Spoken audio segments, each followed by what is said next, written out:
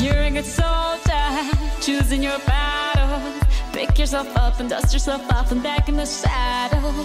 You're on the front line, everyone's watching.